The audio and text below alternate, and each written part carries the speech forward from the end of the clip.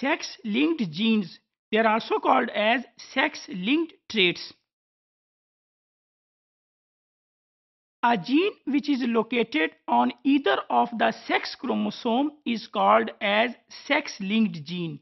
While on the other hand, all those traits whose genes are present on either of the sex chromosome, they are called as sex-linked traits.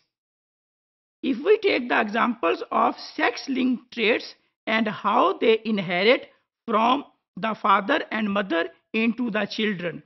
If we take here the example that a father with a disorder transmit the mutant allele to all the daughters.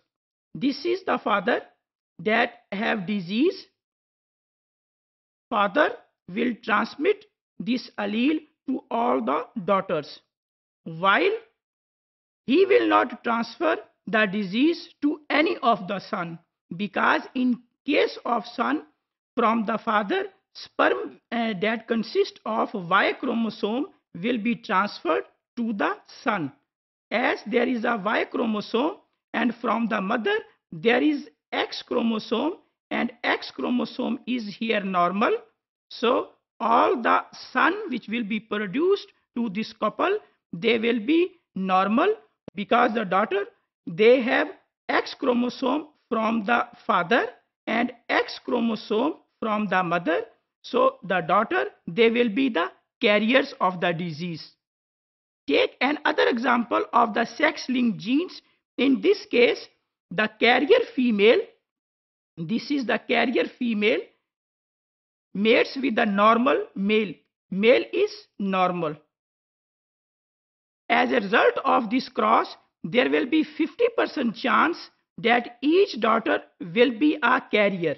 Here is the two daughters that will be produced daughter 1 and daughter 2 and there will be 50% chance that the daughter will be produced as the carrier of that disease while there will be 50% chance that each son will carry the disease if we take here there are two sons this son is normal while this son is affected. So in such a cross where female is carrier and the male is normal there will be 50% chance that the daughters they will be the carrier of that disease while the son they will be affected.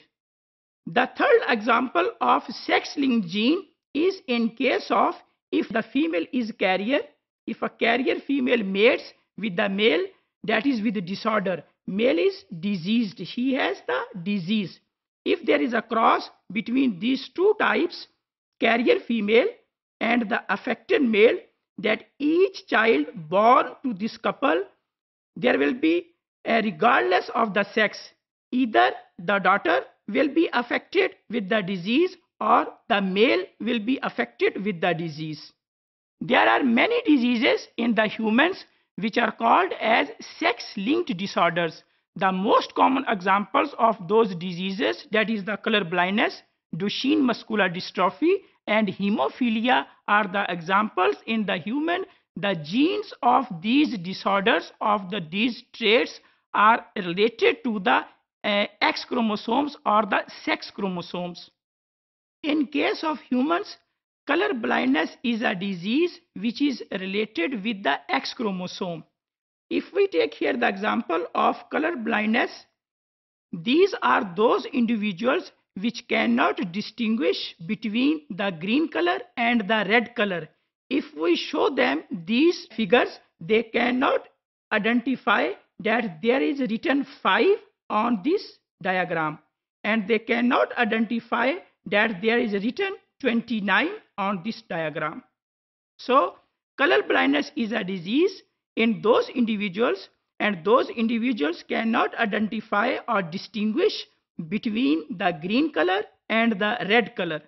If we see that how color blindness inherits in the individuals, normal female is XX and the normal male is XY.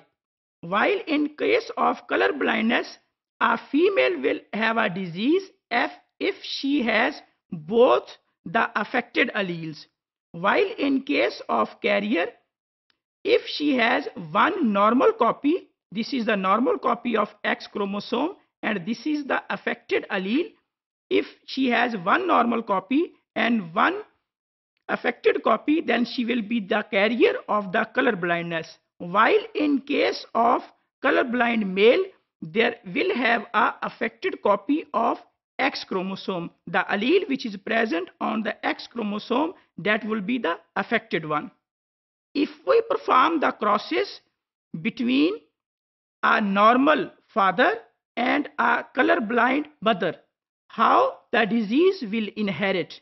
In case of normal father and in case of colorblind mother, all the daughters, they will be the carriers. This is the daughter, she will be carrier, daughter, she will be carrier, daughter, she will be the carrier.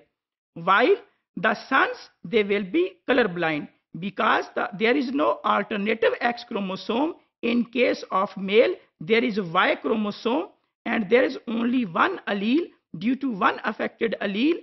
The sons, they will be the colorblind. While in case of three daughters, they will be the carrier because they have a normal allele on the other X chromosomes. This chromosome contains normal allele. Same is here. This also contains normal allele. This also contains normal allele. So the daughters, they will be the carrier. They will not express the disease while the sons, they will be colorblind.